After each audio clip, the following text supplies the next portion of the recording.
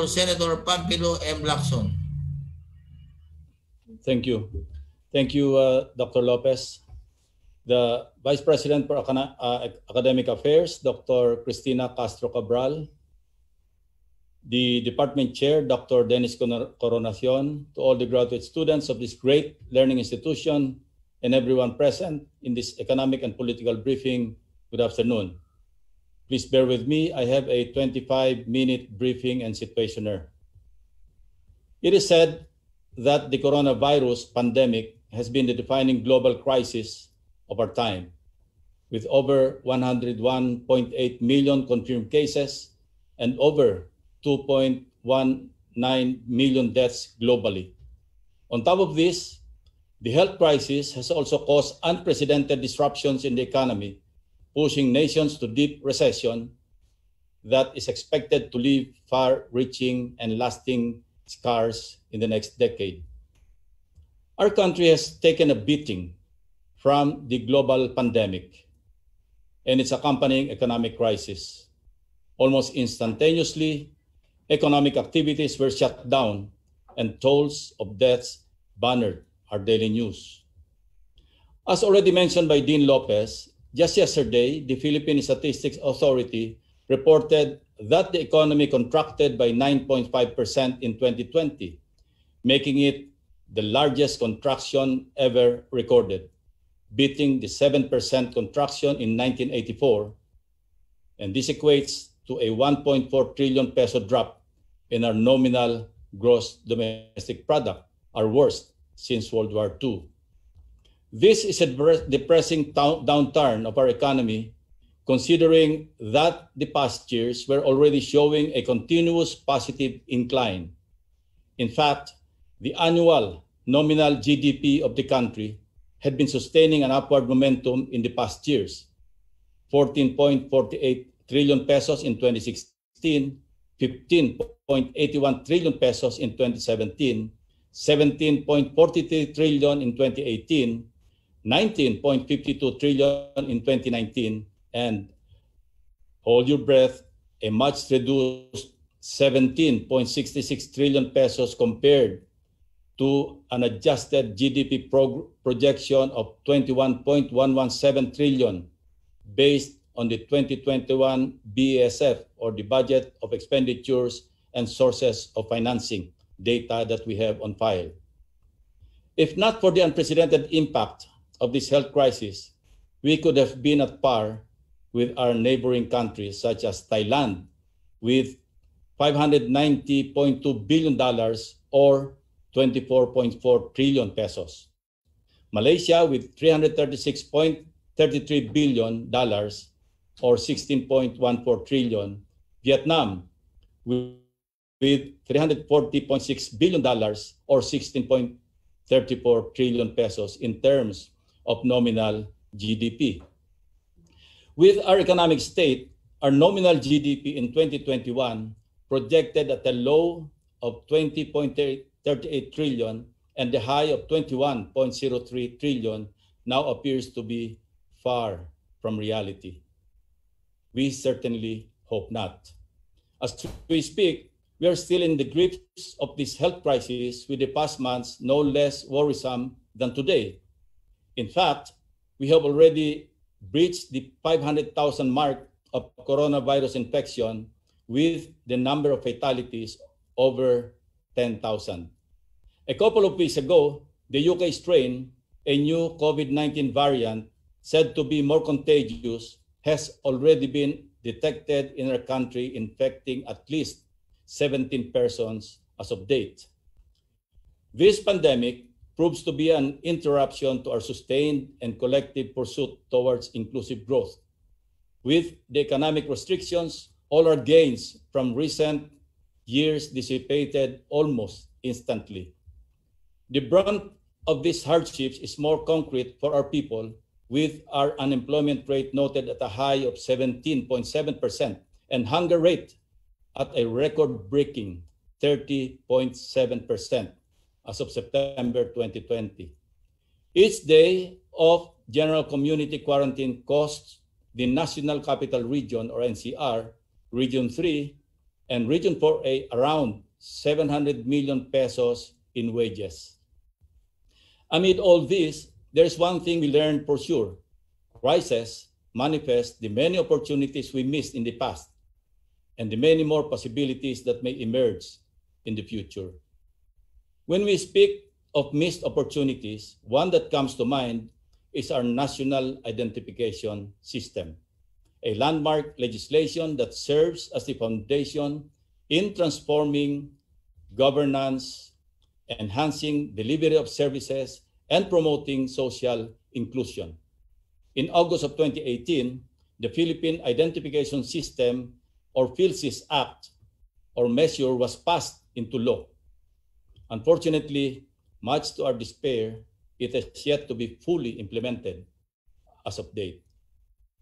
As one of the authors and the principal sponsor of the bill in the Senate, I envision the proposed national ID to provide the foundation in promoting financial inclusion and streamlined government services are paramount concerns in the face of this crisis.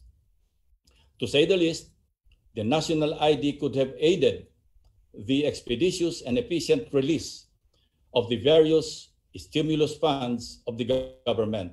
I share the concerns of Dr. Lopez, as cited in his many insightful interviews, that the delay in the disbursement of stimulus funds, such as subsidies from the Social Amelioration Program of the government, gravely hurt our economy.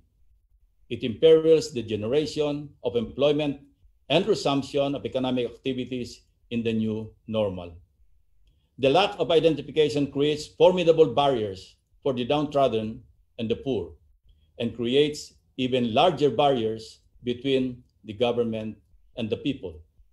Hence, we should push for the implementation of the national ID if we want to further strengthen our response, not only against the pandemic, particularly in the rollout of the much awaited vaccines, but in many of our future endeavors. As many would say, from every crisis, an opportunity arises. The legislative branch lives on this window of opportunity at once. The Congress was forthright to peddle key policies to aid the positive trajectory of our economy with the passage of the Bayanihan to Heal as One Act, and consequently, the Bayanihan to Recover as One Act. We promote scaled up spending to protect around 18 million low income households, 3.4 million employees of small businesses, and over 2 million affected formal, informal, and overseas Filipino workers. As students and practitioners in the field of business, you of all people would certainly have a solid grasp on the importance of financial management in sustaining business operations and activities. The same principle goes true when it comes to government budgeting. Generally speaking, the national budget, as authorized by the General Appropriations Act, spells out the government's priorities and serves as the ultimate indicator if the government is putting money where its mouth is.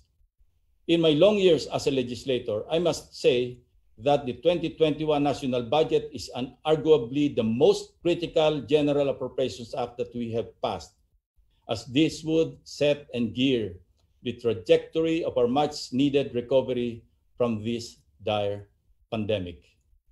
As stated by World Bank Group President David Malpass, making the right investments now would be vital to support recovery and foster resilience of all nations as a response to the COVID-19 crisis will shape our common future for the years to come.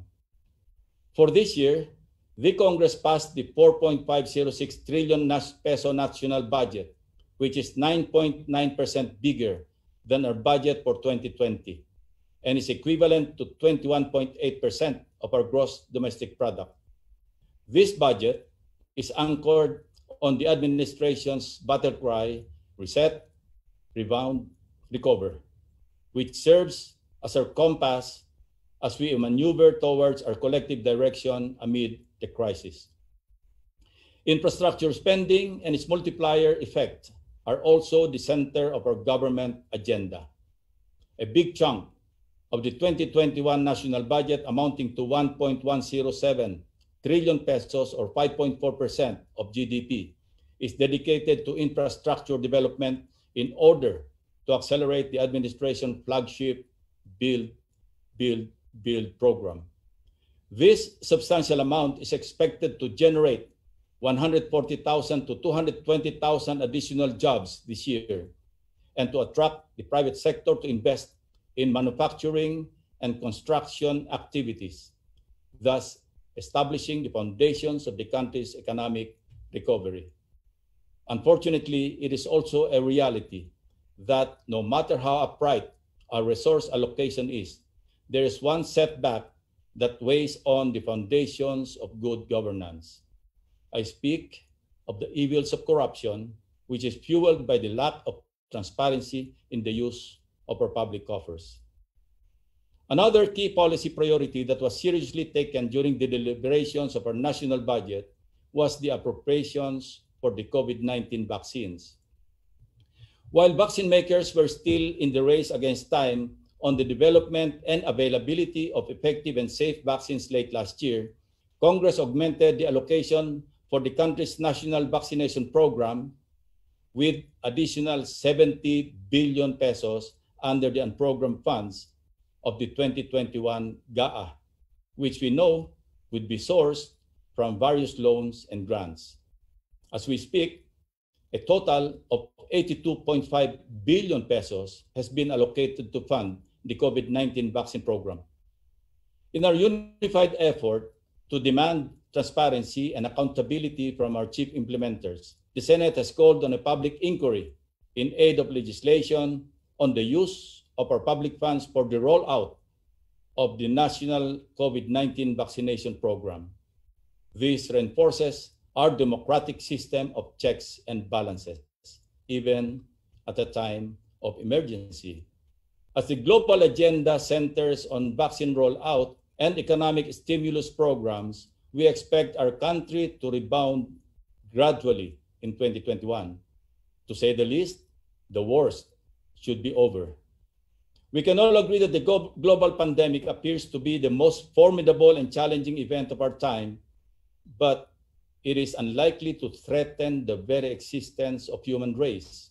We have the scientific knowledge and technological progress to overcome this crisis. What should concern us the most is the fact that as much as it is a healthcare dilemma, the global pandemic poses both an economic and political crisis. State action at this critical time is most vulnerable to and may be rife with inefficiency and corruption, the root of public distrust. The difficult choice between loosening up and locking down further complicates an already complex situation. A classic example is the recently reversed decision to allow 10-year-old kids and above to go out with their parents. NEDA studies concluded that 50% of the economy is driven by family activities outside their homes. Needless to say, we should accept accountability from everyone.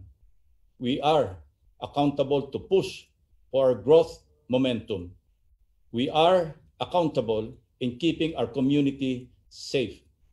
We are accountable to each other.